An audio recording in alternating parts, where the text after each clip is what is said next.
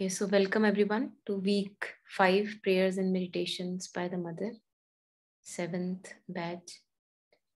And today we have uh, prayers uh, from Feb 10, 1914 and Feb 11, I believe. Yeah. So let us start with the first one, February 10, 1914. It's a short prayer. Uh, uh and whoever wants to share first their reflections. Please read first and then go ahead with the reflections. Yeah, whoever wants to share, please unmute and share.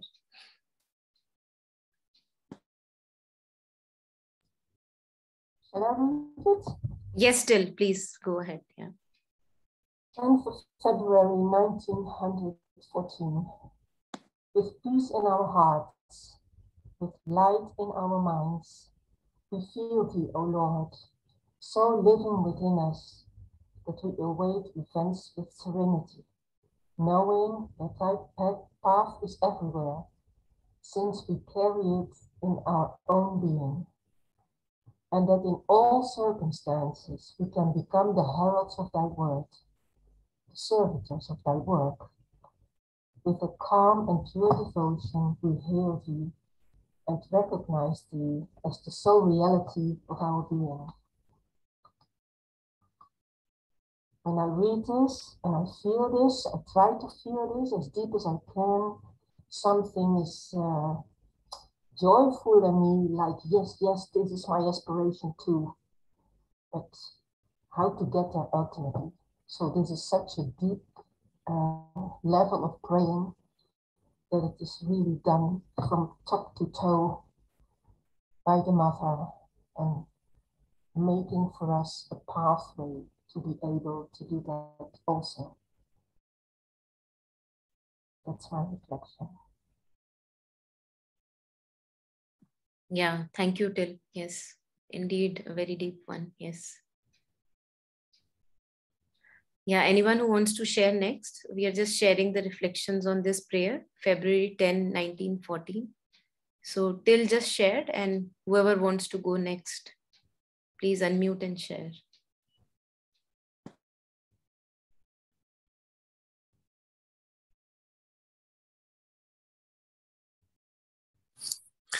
Monica if I can go next. Yes, please, Jishnuji. Yes. Yeah.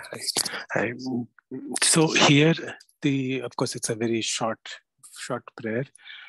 The best thing which I liked here, uh, which I noticed, where Mother is saying, knowing that thy path is everywhere, since we carry it in our being, and that in all circumstances we can become heralds of thy word the servitors of thy the servitors of thy work. And when I read this, what it connected to me is um, when much later somebody had asked mother, the children, that is it always the best happens? Like we know, like in India, says we say that always the best happens because divine is always doing the best. And so somebody is asking mother, is, is, is it true that always the very best happens?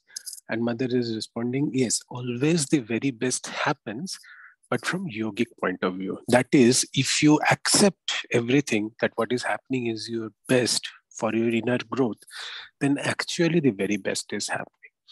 And when I reflected, I thought it's a very positive way of seeing. If we see the mistakes are our learnings, the failures are our preparations, and the positive side, the successes are just milestones the success is not always a destination, what we call as success. It's just a milestone for bigger success, for bigger perfection, let's say.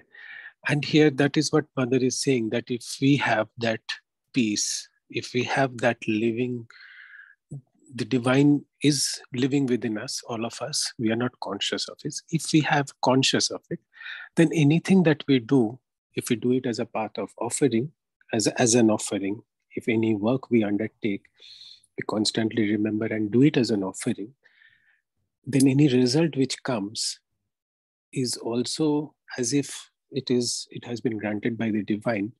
And if we look it, probably which we will see in the next prayer, if you look it from the eternal point of view, then that was supposed to happen for our growth or development.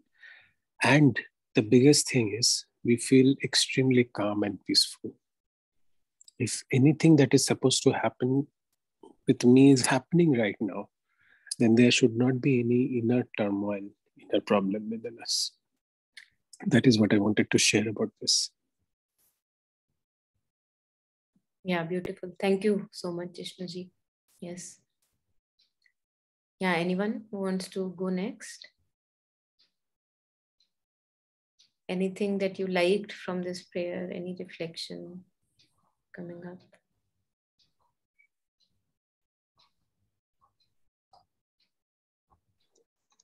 My perspective is of yeah. a newbie into all of this. And I just have to say that after that last comment, I'm sitting here just laughing away because if you say that everything it's the highest and it's true the best is actually happening except that we are individual ones that's the best that we can conjure up or the best that we can bring to ourselves at that point in time so this is why i'm finding this in both enlightening and humorous Thank you. Yeah, beautiful. Thank you so much, Lotus. Yeah. yeah. I think we suffer much uh, with our resistance to whatever is happening most of the time. Yeah. Yeah, Shweta, please go ahead. Shweta. Yeah. Yeah. And I also want to just share what, uh, you know, stood out for me. Like Jishnuji also said, uh, uh, thy path is everywhere since we carry it in our own being and that in all circumstances we can become the heralds of thy word the servitors of thy work. So uh, yeah and uh, I, uh, as you know jishnuji was mentioning that uh, uh, things happen and uh, yet you know like there will be this innate peace and you know like I, I i really like that. It was a lot of you know what do i say? It was a lot of consolation for me because uh, in many ways i feel it also these days. So it's like i see a lot of uh, small and big disruptions uh, and challenges. So it's just you know like a way of life uh, which uh, comes more and more into notice now. Why it's coming more and more into notice is because yes there is this uh, faith also which is increasing. And you know like that uh, uh, peace also uh, which is constantly there when you come back to the presence and understand that uh, yes uh, uh, things are very spontaneous and you know there are yet you know like disruptions and all yet there is also this uh, uh, faith and solace that you know everything is happening uh, as per you know like the way it is meant to be. uh, so this path uh, this line thy path is everywhere and we carry it in our own being and that in all circumstances we can become the heralds of thy word the servitors of thy work yeah this this really you know like uh, stood out for me in this prayer yeah, beautiful. Thank you so much, Shweta. Yes.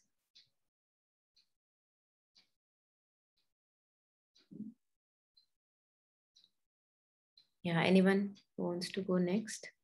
Yes, Ashpriya. You know what really, uh, I mean, I think uh, I'm also going through a lot of uh, struggle in understanding, uh, you know, what is ambition and what is, you know, how exactly to, you know, path and all of those things, right? So, I mean, the things that really uh, is standing out in this prayer is that, you know, it's thy path and, you know, thy words and thy work. So, not that everything I will understand right now, but the fact that, you know, I would still know that it is, you know, both good and bad and, you know, whatever is it, it's part of, you know, that work which I am right now probably not understanding You know, and to uh, be all right with not understanding is also something uh, which we often forget because we are in the hurry of understanding or hurry of you know go, you know becoming something. But this moment is also that becoming and there is nothing in the future which is all which i mean there is a future of course which includes uh, which is in that becoming as well but now is also a becoming. I think uh, that is how i could relate to this uh, yeah yeah. Thank you so much ashpriya. Yes. Yeah anyone who wants to share next anything on this prayer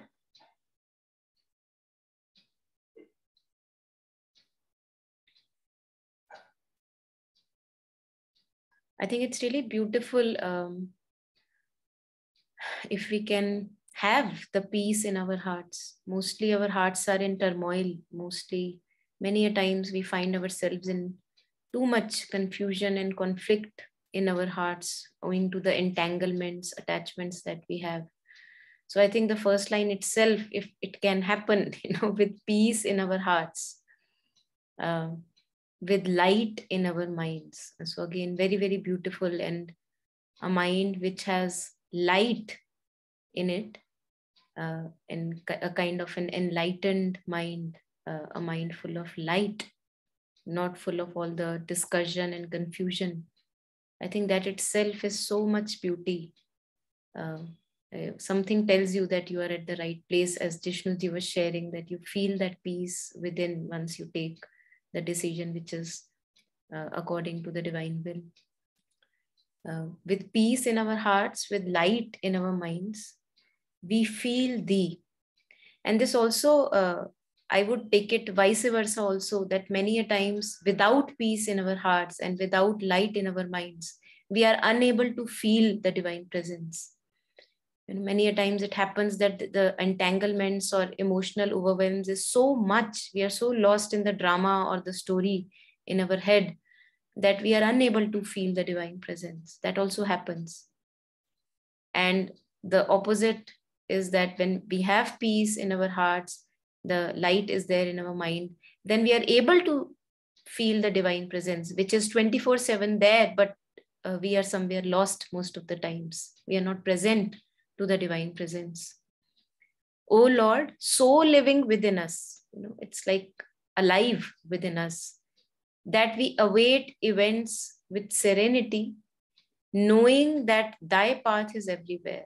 So if we can have that faith and confidence that whatever path we are on, whether it may look actually tumultuous at the moment, very full of turmoil at the moment, uh, as I think uh, Ashpriya was mentioning that there must be something good coming out of this bad phase you know. Many a times we go through very overwhelming phases.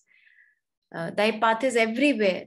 Since we carry it in our own being and that in all circumstances we can become her- the heralds of thy word the servitors of thy work. So if we have we can have a little bit just a streak of receptive openness just a streak of a little faith that yes the faith phase that i'm going through is a tough one right now. But uh, maybe something I, will be shown through this phase you know let me go through this let me go through persevere. So i think there we become the herald. If we can have that little openness little receptivity and when we are not resisting any phase in our life most of the time we are suffering because we are resisting the phases in our life and the phases are not always happy phases. We all have our ups and downs. So then if we can have that little openness receptivity and uh, knowing that yes something good will come out i will mature and ripen through this phase also. We can become heralds of thy word the servitors of thy work. And the divine work is to become conscious and conscious and more and more conscious of my own inner movements you know, that's the basic inner work that is to be done. To become more and more conscious of all that happens in our being.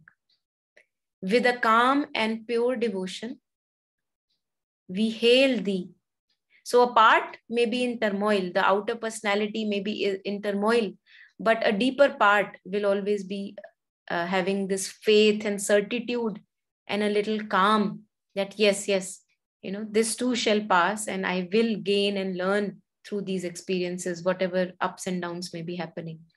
So that calm parallelly can be there along with the outer turmoil. That's the beauty. And uh, you know this reminds me that Sri Aurobindo once shared with the sadhak that he was undergoing depression at one point of time. And even when he was uh, undergoing depression uh, he was actually able uh, able to give very good advice to uh, people who would come to him. So uh, some part was under turmoil and yet there was a deeper part which was totally settled and secure and safe. And there the calmness and purity resides. So almost like a you know lotus in the dirt and mud that uh, in in the middle of the challenging situations and outer conflicts one can actually be the lotus. Both can exist parallelly. With a calm and pure devotion we hail thee and recognize thee as the sole reality of our being. So to wake up from our dreams from time to time you know um, we, we are dreaming not only at night we are also most of the time dreaming in the daytime. We are so lost in our self created realities in our head that we think that they are they are having some solid reality uh, you know self existent solid reality and they exist on their own while we we become only uh, late very late if possible early we become aware that we are creating that solidity in our reality in our head. It has no existence whatsoever if i stop fueling it in my head. So the only reality the sole reality of our being is the divine presence rest all are figments of our imaginations the conscious presence that we are the consciousness that we are if we can again and again root and anchor ourselves there. Know that as the sole reality rather than my dream, uh, the day, daydreaming that I do as the sole reality, rather than taking that as reality. If I can anchor myself in the divine presence, I think that would be so beautiful. So, this prayer really, you know, uh, all of you were sharing, comes as a very deep reminder, a very short one, and very, very intense one. So, very blessed to read this prayer again. Yeah. So, Monica, here I yes, wanted to share one thing that, please. Um, like, we all feel, first of all, it's a very high ideal, right? That to always be conscious and constantly have that remembrance. Mother is saying it's like the crown of your work. It is not something that comes in the beginning.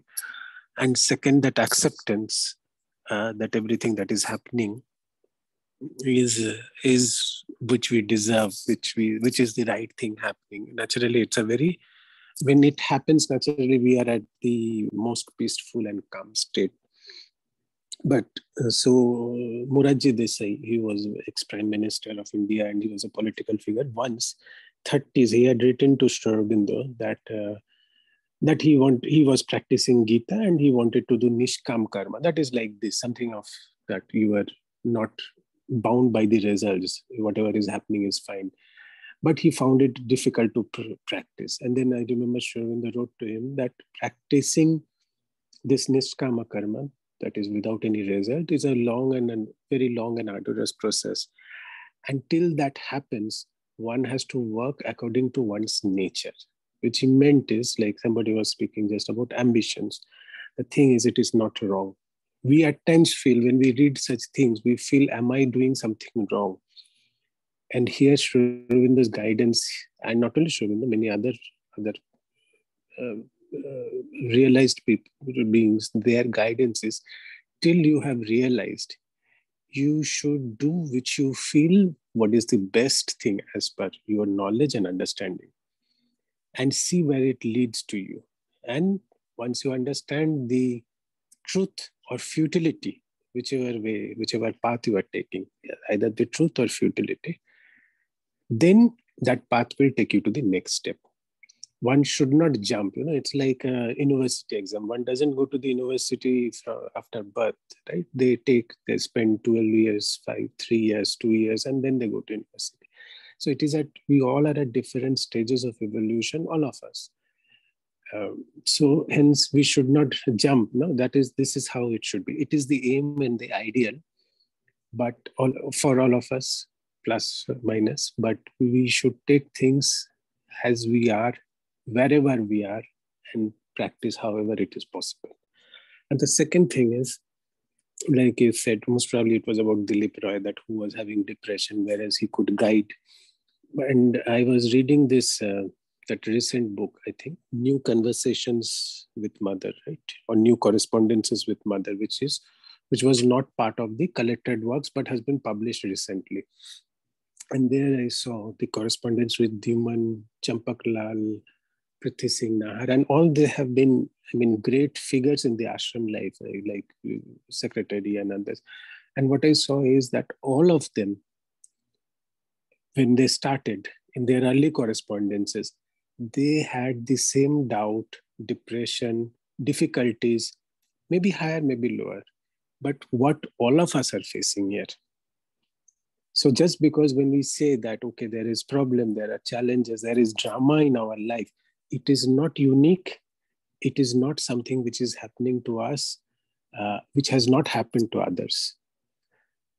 And what I mean to say is we should not think that some we should not belittle ourselves because something which is happening to ourselves it is it has happened to others it is happening to us and it is part of the process all these big sadhaks i read wherever they are candid of often what happens is because of course of time all these smaller conversations get lost and only the lofty conversations remain but if we examine and if we understand and we go through including not only in uh, Aurobindo Ashram, even in Ramakrishna Mission, the greatest of the saints, in their letters, personal letters, especially in their early years, I have seen, including Vivekananda, that they have been uh, impacted with doubt, depression, lack of faith. Lack of faith. Can you imagine? Uh, that's that's something which we, we all fail we all know right? That once faith comes everything and all of them have they're not having complete faith they're not having complete things. They're speaking about insincerity. Probably their scale is different but it is part of the process part of it is a part of the part of the path for all of us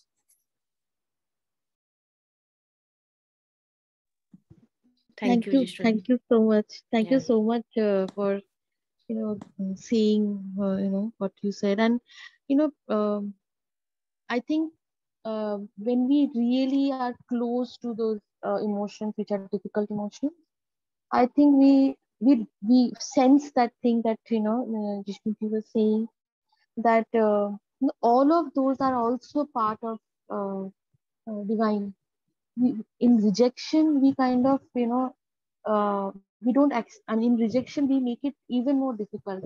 They are manifesting probably for a reason the difficulties of the emotions or whatever are manifesting for a reason because that is the path to you know uh, to make you know to remove that. If it doesn't surface you know then then it will forever remain and we will forever i mean that is the way they are coming up to light is is something which i've you know i've started sensing little little bit and thank you for, yeah. you know, saying this. Thank you. You say here, I will just make one small very comment. See, rejection and repression are not same. Aurobindo has spoke, Mother has spoken. Mm. What is that, Monica ji? I'm forgetting. Aspiration, rejection, surrender. Aspiration, rejection, surrender.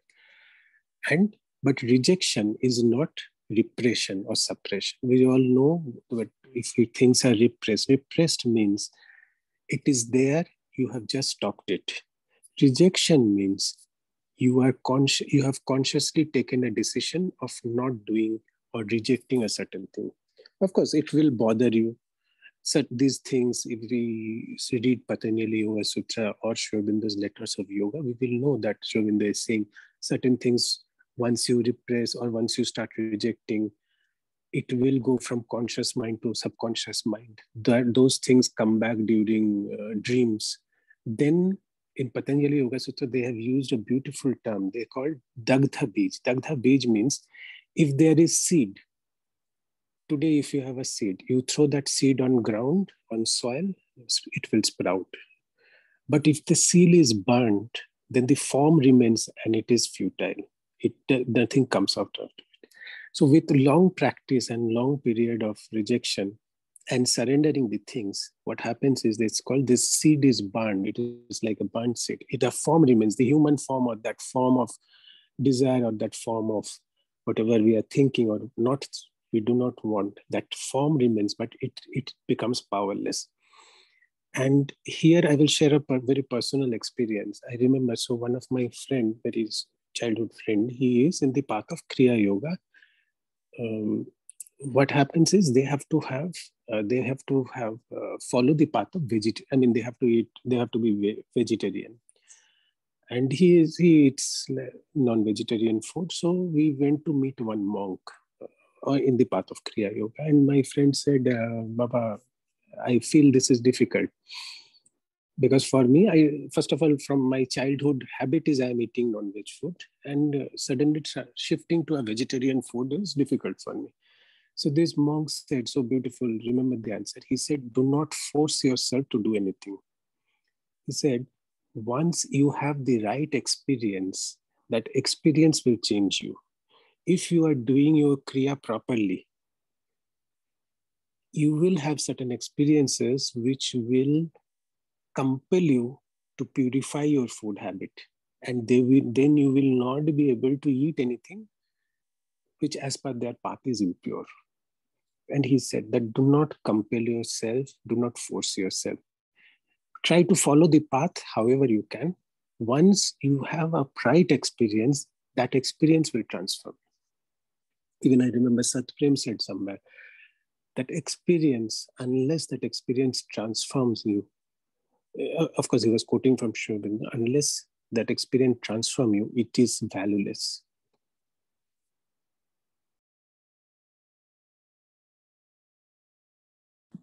Yeah, thank you, Jishnuji. Thank you, Ashpriya, for sharing. Yeah. Thank you. Thank you. I think in one of the prayers, I think which we were reading uh, last time, Mother also shared the importance of innumerable experiences one has to go through, you know, uh, again and again uh, before uh, any absolute kind of uh, transformation happens. So all these experiences as you were sharing both of you you know absolutely necessary on the path. So let us go to the next prayer then and and just maybe remove this underlining. I think it's from the last time yeah anyone who feels ready uh, to read and reflect february 11 1914 please unmute and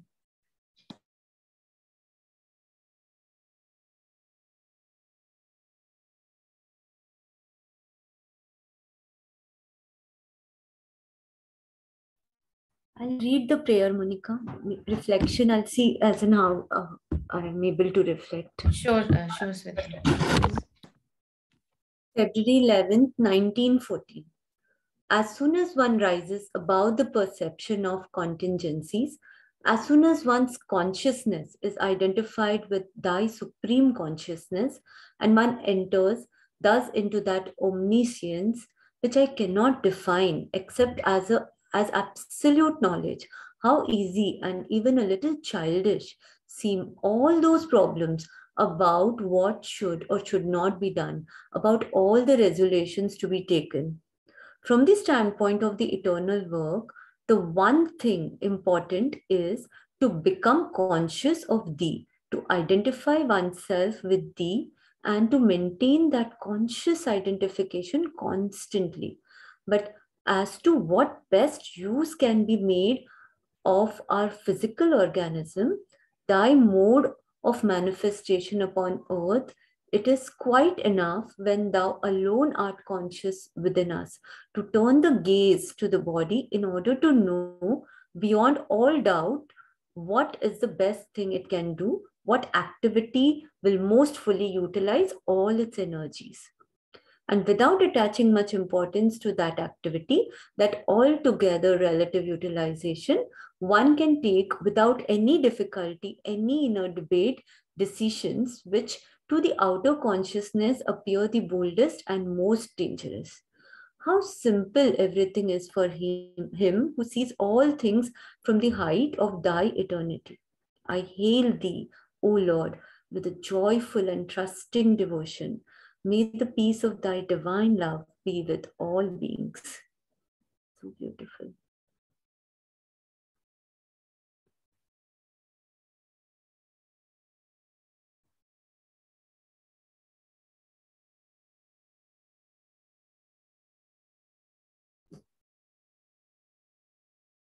Yes, so this paragraph, uh, and without attaching much importance to the activity, that altogether relative utilization, one can take without any difficulty any inner debate decision which to the outer consciousness appears the boldest and most dangerous. Yeah that uh, is something uh, uh, that uh, i am uh, being able to relate to yeah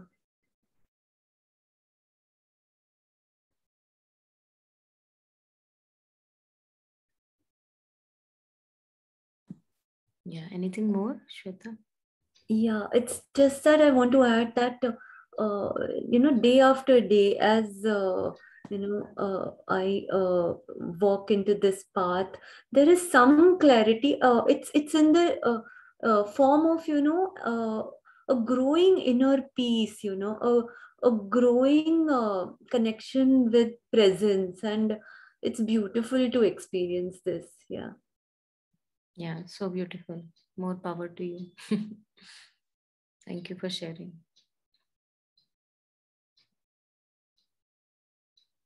Yeah, I think it's actually, you know, uh, although we all have our own processes and journeys, but it's our birthright, actually, it's our birthright to know who we truly are. No one can keep us away from that. So, all these experiences that we have to go through, they all are just maybe just necessary steps on the way in order to truly identify with our true consciousness, which Mother refers to again and again in her prayers. Yeah, anyone who wants to go next? Please unmute and share.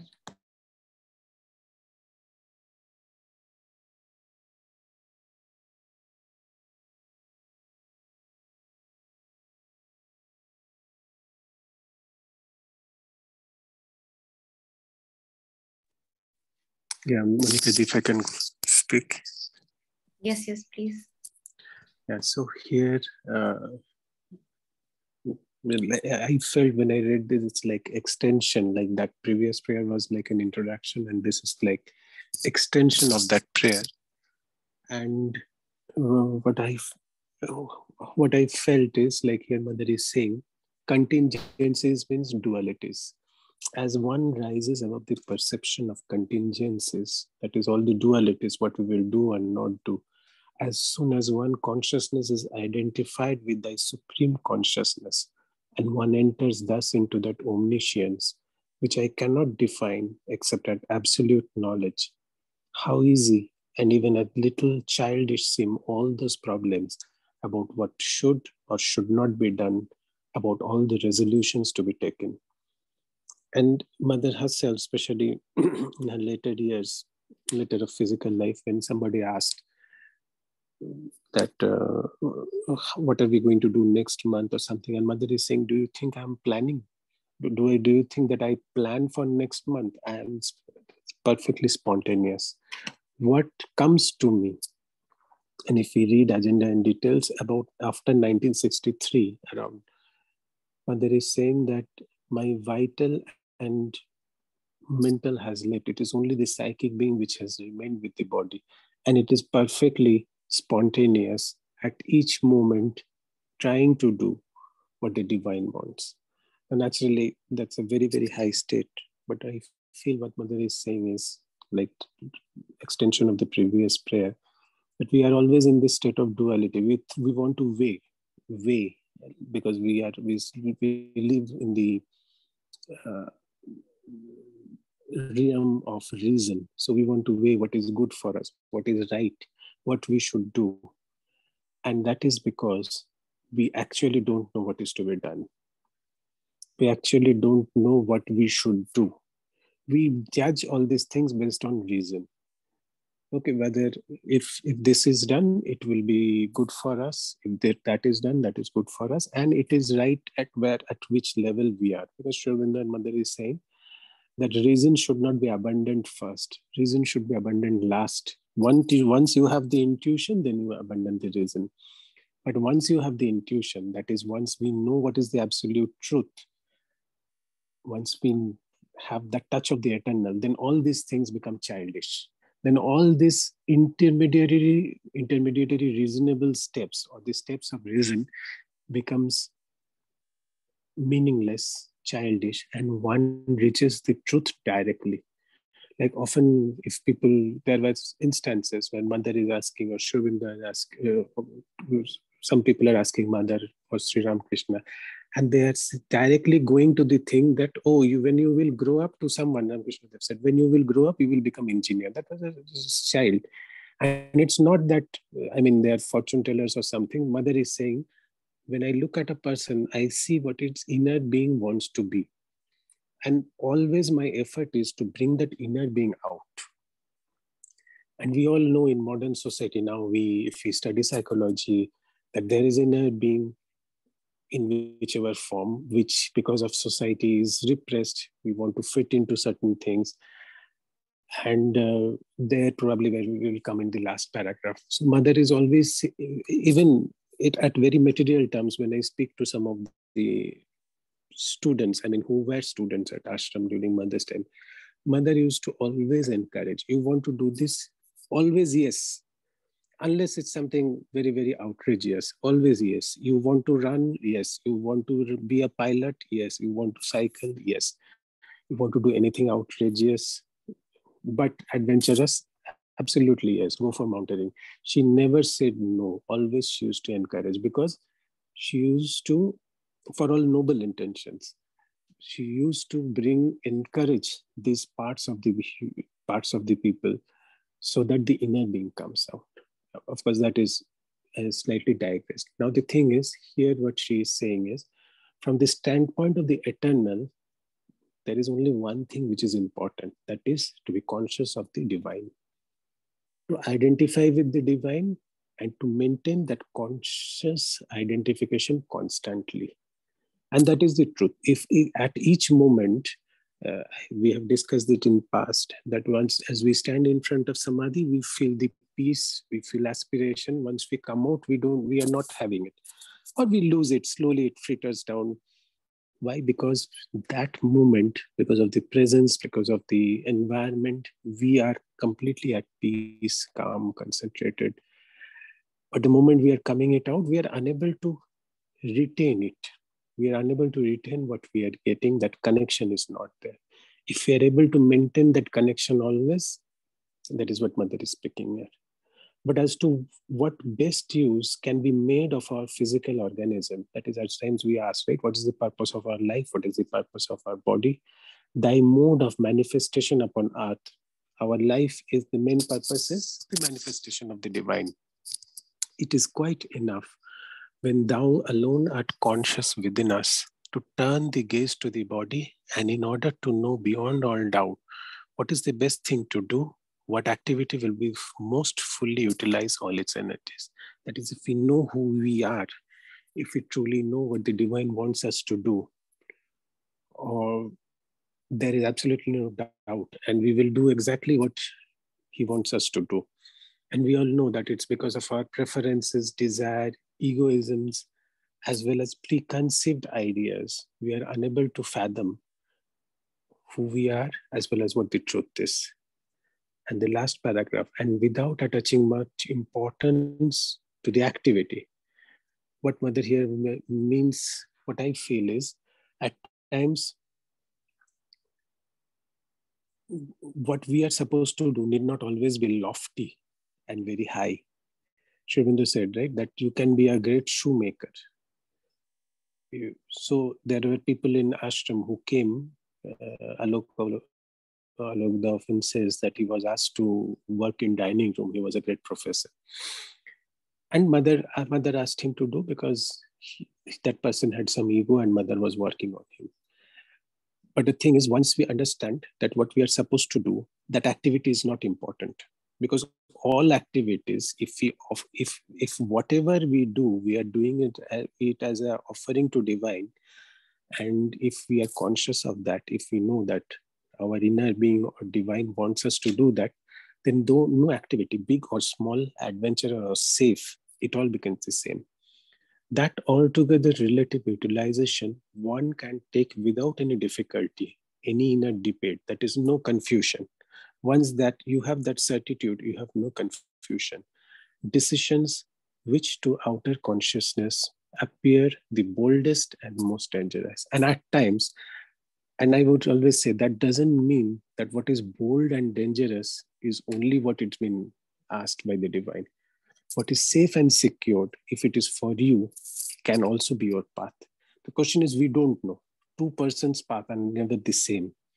So for some people, even at ashram, to some people, mother is saying, no, don't go out. Don't go out beyond the canal. Your your your uh, frame is very delicate, and you will not be able to manage those things. To some people, they're saying, no, you should go. You should go to different countries, work, work for me there. Because to each person, the path is different. How simple everything is for him who sees all things from the height of the eternity. Because from the height of eternity, what is important is whether you are having the connection with the divine consciously, constantly, and whether you have realized. That is what is important. All the other things are immaterial and childish. And that is why it is very simple that whatever you are doing, uh, whether are you truly supposed to do or not. I hail thee, O Lord, with a joyful and trusting devotion. May the peace of thy divine love be with all beings. And once we have that divine love, we are always peaceful because we know that every, because we know that nothing bad or what we call bad is also supposed to happen because often there have been we know about jesus christ chaitanya dev some many other of these people who who who had to face uh, adverse end of life and they were perfectly peaceful because they were they had that divine love with them. That that is my reflection here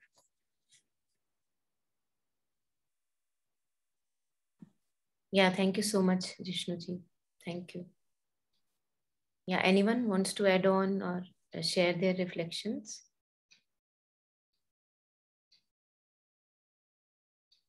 Chitraji, would you like to share something on this? Anything yeah. that you, yeah.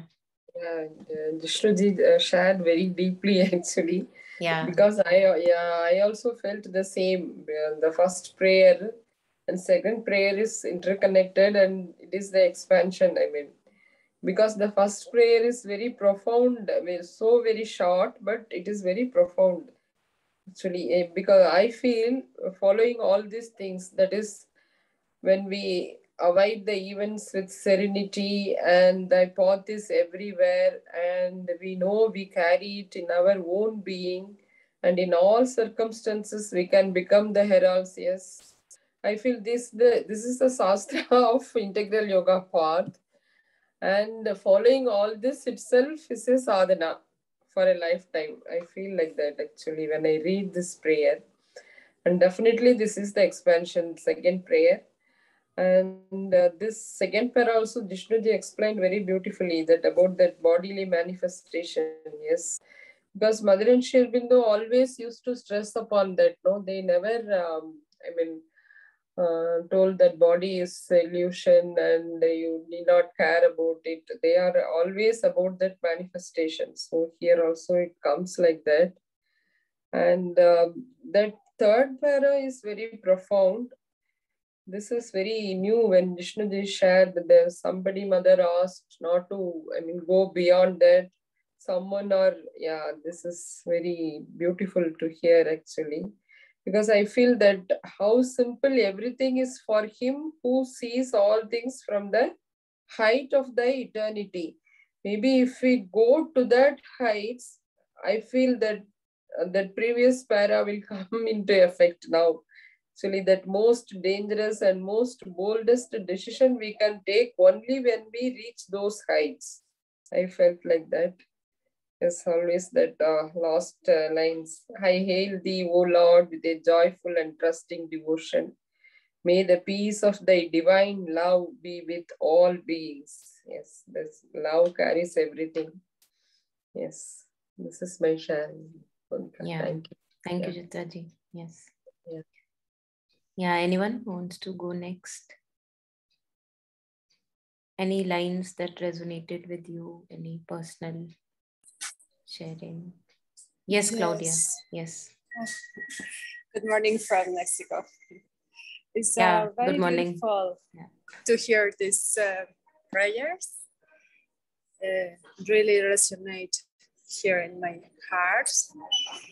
And one, one thing that, like, that I like in this prayer is that she said that we have to do this constant conscious work, like every hour, every minute, constantly remember, remember, and remember, yes?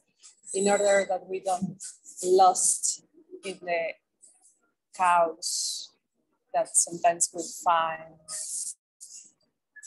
uh, in every life, yes? Or in the inner chaos also, yes, sometimes we create.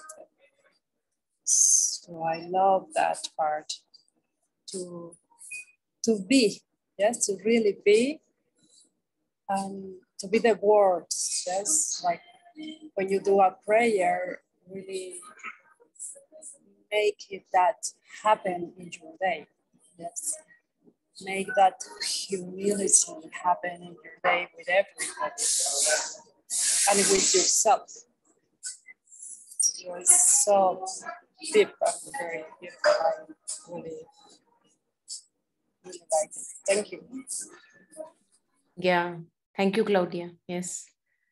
I think it's uh, so easy to say and so hard, all of us know, uh, just to be is uh, it, talking about it appears so, so simple, you know. And as Aspriya once shared in one's prayers and meditations, that it's so complicated to be simple you know so because we have uh, gotten so much lost in our complications that to be simple to just be appears so so hard work you know which we have to do. Yeah. Yeah. Anyone who wants to go next? Any reflections to share on this prayer? I have a very short one, uh, which is uh, sort of additional to the first pink emphasized sentences, because this is uh, from the standpoint of the eternal work. The one thing important is to become conscious of thee, to identify oneself with thee, and to maintain that conscious identification constantly. This is a lifelong work. There may be lifelong works. Um, what we have here in our uh, I'm Christian by birth and practicing, and we have the possibility of renewal of the dedication to God, to the coming of the Lord, to open up for His presence. And that is to me very uh, refreshing because sometimes you get a bit distracted, you can get a bit distracted, and or what to do, huh? you feel a bit heavy about it. But if you are offered the possibility to really renew your dedication, then it brings back hope and uh, and the aspiration to continue on the path. That's what I wanted to share. Yeah, beautiful. Yeah, thank you so much, Till. Absolutely. I think it's really a lifelong dedication to this maintaining this conscious identification and I think Mother, Mother also, Sri Aurobindo also, many other masters, mystics have stressed upon this constant maintenance of remembrance. Sumiran in Hindi. In Hindi, they call it Sumiran because since we are born in forgetfulness, it's one thing that we have to parallelly be aware of, of this conscious identification, no matter what we are doing in the world. Parallel consciousness as mother would say you know one uh, incident that i had shared uh, with some of you also in one of the sessions that uh, asked that mother when i'm playing lawn tennis for example uh, then i'm not able to parallelly be conscious of you your presence. So mother said that you don't as jishnuji was sharing don't jump directly to remembering me constantly at all times. Do it in your gap times you know when you are not actively engaged mentally or too much uh, you know occupied in some activity and when you have a little break a, a little relaxed times uh, resting periods or break times there in those gaps use those gaps very, very wisely and have uh, this constant remembrance of the mother or cons- constant remembrance of knowing ourselves as the awareness within, being aware of being aware. And then slowly, when we are in work also, we can kind of extend it. You know, again and again, we will forget. Uh, and then the only task we have is, is, just to keep at it, you know, uh, that just to not get lost in the drama or the stream of thoughts and feelings and sensations again and again.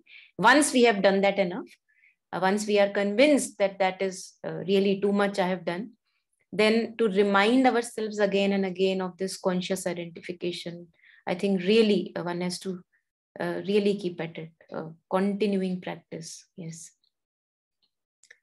Yeah. Yeah. Anyone else? Uh, any anything on this prayer?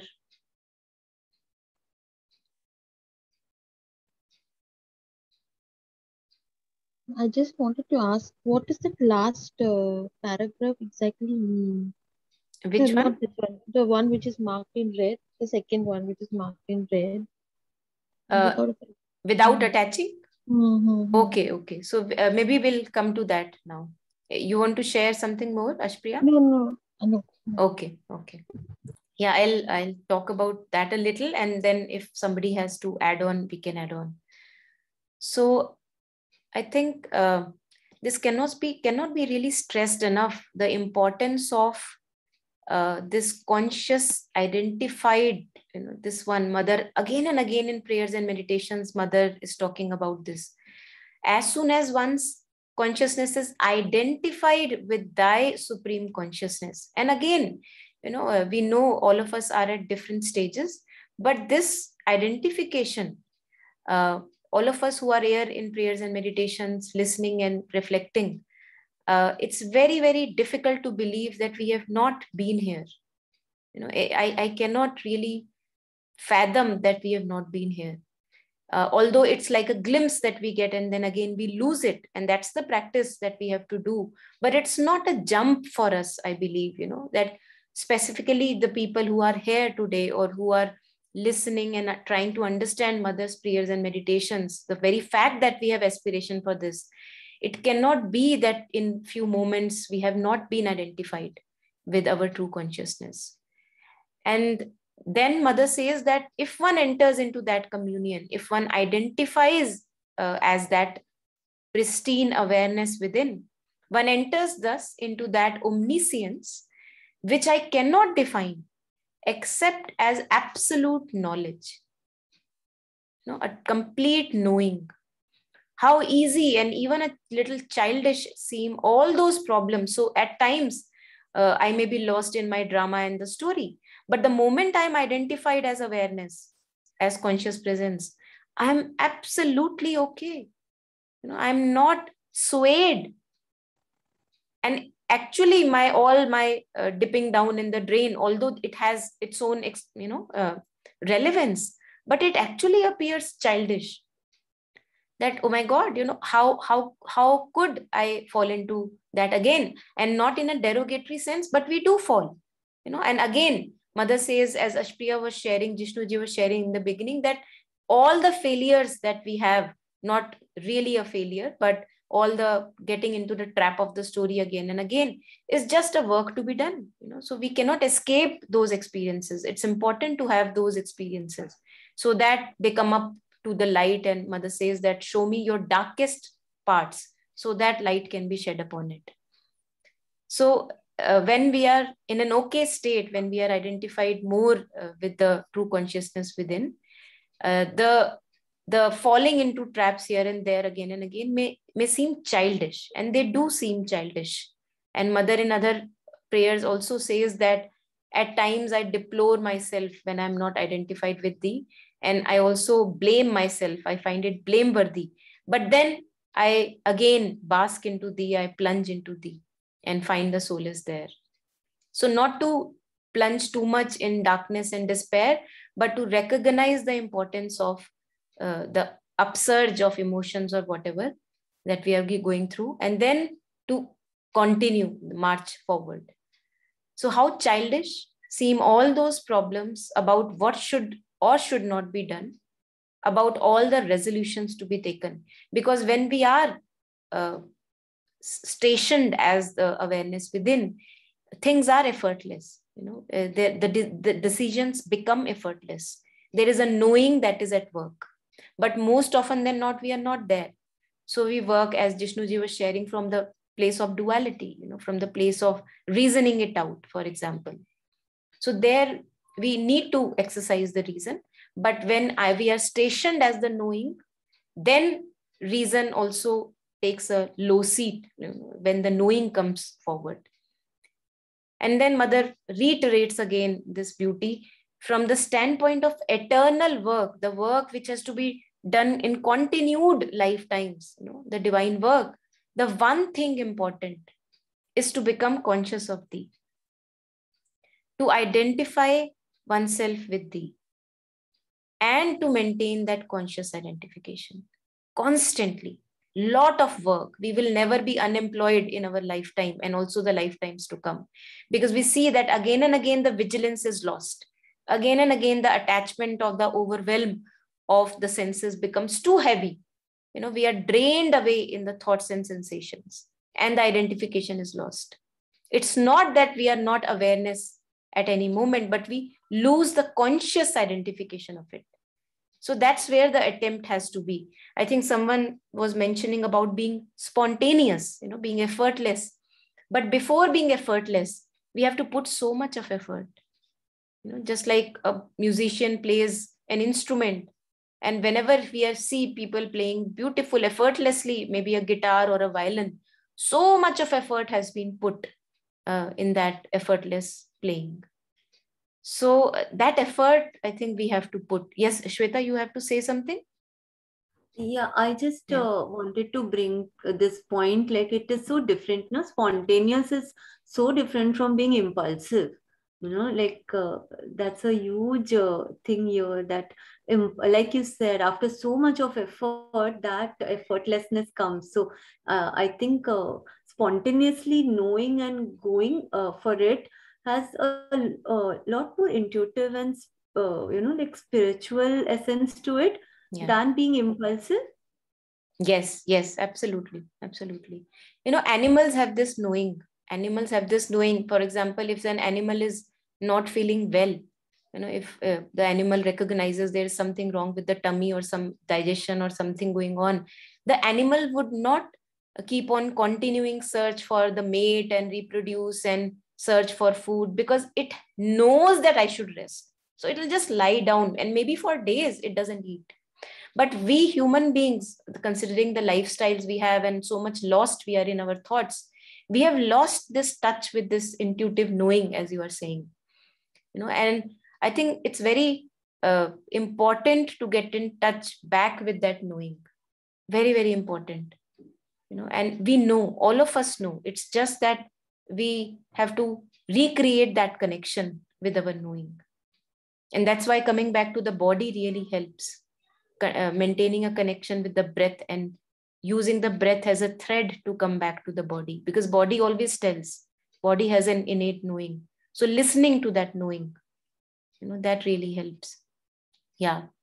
And i would agree resonate with what you were sharing. You know that spontaneity is different from being impulsive absolutely yeah.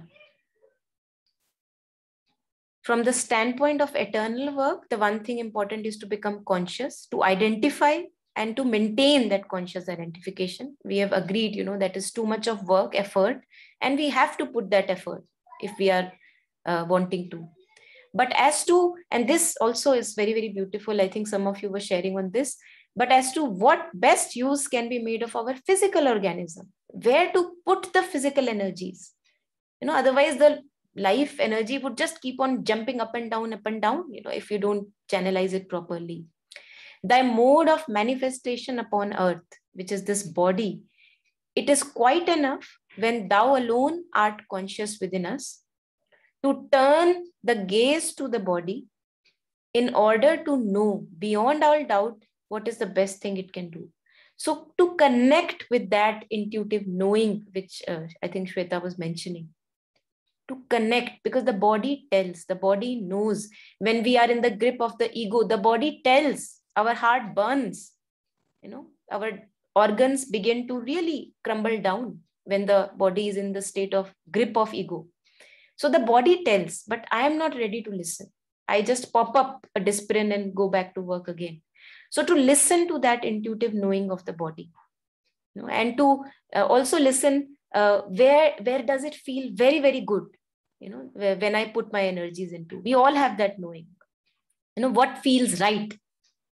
You know, as i think jishnuji was uh, sharing that mother would say that okay you want to do this go ahead. You know because everyone has their natural swabhava you know natural tendencies inclinations. So to to follow that inclination because it's for a purpose that that inclination is there to channelize our life energy there i think that's really the uniqueness that all of us have. And mother also says that before we really know what is the true vocation for our life uh, true utilization of this body uh, before that uh, whenever a temporary work comes in the middle to do that temporary work with a beautiful attitude with an attitude of servitude you know that let me serve. I know that this is not the purpose of my life whatever i'm right now doing. But let me do it with a devotion. Let me do it with a self offering so even if i am doing a work which may not be my real true calling in my life to do it with dedication to do it with service servitude. That that's the attitude one one can take in the middle path. To do the, do it best whatever we are doing what activity will most fully utilize all its energies. And i see it also with my little children you know i have two little kids and i see that each one has this very different inclination. So one is more kind of body oriented and he wants to jump and you know maybe run around. The other one is very content maybe reading a book. And one cannot really although one needs a balance you know uh, one needs to balance but as mother says from near to far. So the near for one person is the body running with the body. The near for the other person is to read the book. And then too far that, okay, the person who is too much engaged in reading the book also has to develop physically, you know, so the body also has to come into the picture. So I think, again, very intuitively knowing what our body demands, uh, the life energy demands. And this, you know, the paragraph which uh, was talking about, what it comes to me here without attaching much importance to that activity that altogether relative utilization one can take without any difficulty any inner debate decisions which to the outer consciousness appear the boldest and most dangerous. So relatively at various phases of our life everything has a relative utility. So when through my knowing through connection with the body as in the previous paragraph you know turning the gaze to the body in order to know. When we connect with that we realize that okay right now maybe this is required for me. Maybe walk in nature may be required. So relative utility of every activity. Now walking in the nature may not be the absolute truth uh, that may be required. But right now relatively i know that this is what will channelize my energy according to my mood the nature. Also it appeals to me you know. So uh, at any point of time any activity has a relative importance. So using it relatively without attaching much importance to actually what kind of an activity that may be. You know it may be actually cleaning or mopping the floor. You know so that that activity itself not ha- does not has that much of uh, credibility but its relative importance. So mother says, without attaching much importance to that activity and altogether relative utilization that, okay, let me go through this because the body needs it, the mind may need it.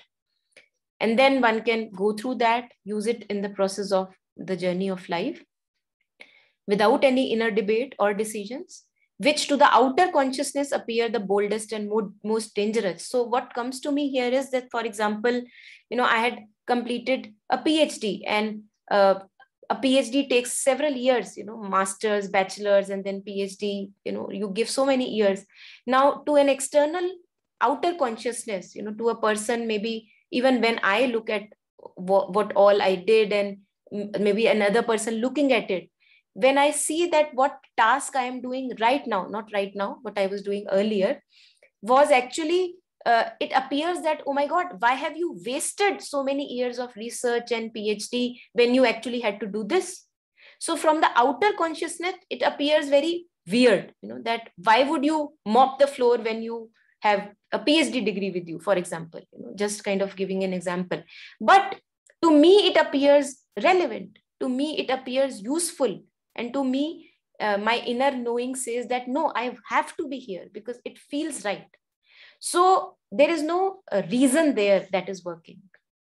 That's what appears to me when mother uses the last line that to the outer consciousness it may appear very bold and most dangerous even dangerous at times. And as jishnuji was sharing that it doesn't have to be really dangerous in the sense that just weird it does not make sense you know.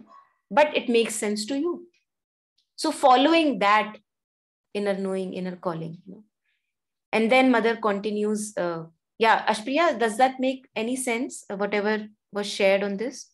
Yeah a lot of sense. To be honest you know there are times when you feel that oh this is this is being read just for me. This is so relevant right now that you know i feel that oh i mean good that i attended this session today.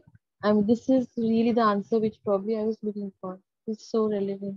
Thank you. Thank you for explaining and sharing. Thank, Thank you. you. Yeah. And then, you know, mother comes back to it again, how simple everything, you know, we all have tasted that simplicity, all of us, you know, how simple everything is for him who sees all things from the height of thy eternity. It's not that we have not been there, but it's just that we have to maintain put effort in that continuity no matter how many times we may go here there and swayed and up down in the waves. Doesn't matter because all of that is also necessary. So that simplicity when we touch in our being when we are identified not wanting anything desiring anything from the life just being is enough. There you know it appears very simple. How simple everything is for him who sees all things from the height of thy eternity I hail thee, O Lord, with a joyful and trusting devotion. May the peace of thy divine love be with all beings. I think this is something which comes in Mother's prayer again and again that she doesn't ever demand the peace for her. She demands it for everyone, all the beings. And I think it's something which one has to learn. I, I feel that we, normal, ordinary human beings, why can't we you know uh, whenever we are suffering we find ourselves in complication you know, uh, egoistic complications. So recognizing that suffering and inhaling all the suffering that people may be going through through those complications as i am suffering and may peace be for all. You know why why can't we also do that? I think we also must be able to do that. And it also clicks it's it shifts the inner consciousness. Immediately we shift from an egoistic state to a state of simplicity. Whenever we uh, connect with all the beings and wishing peace for all no matter your enemy or you know friend doesn't matter you know to all the beings who are alive and all the sentient beings. So i think this is a beautiful inspiration which comes again and again uh, with mother's prayers and meditations. Wishing wellness for all of us. Yeah. Yeah any any addition? Any anyone wants to share anything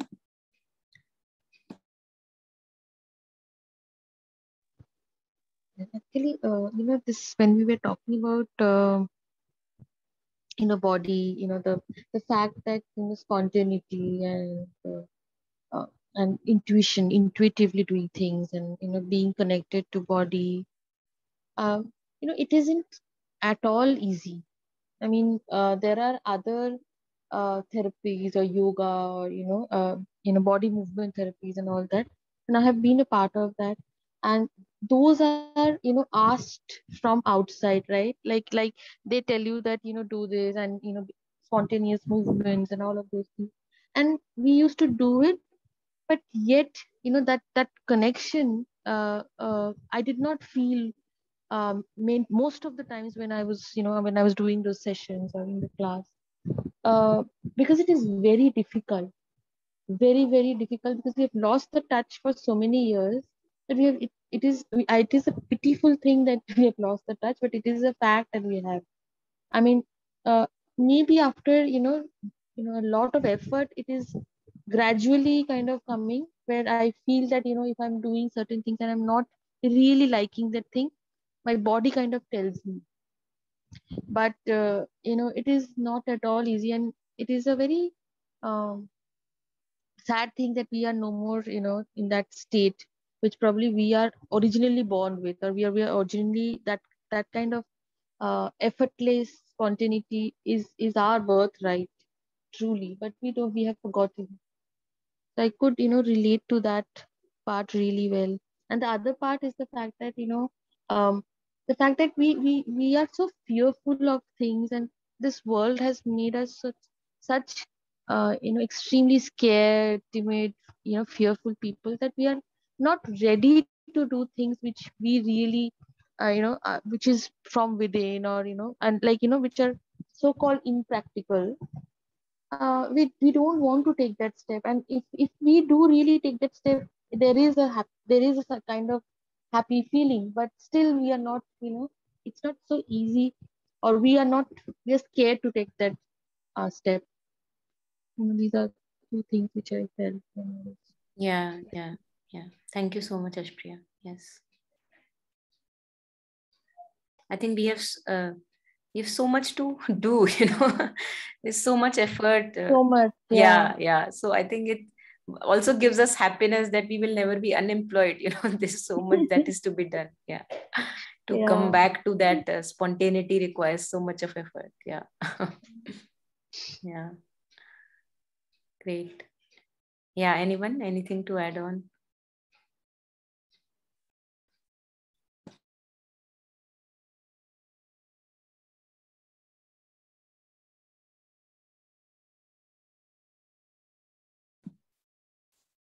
Okay, so I, I, assume that there is no further reflection. And in that case, thank you everyone for sharing, reflecting so beautifully, all the beautiful reflections, sharings. Thank you.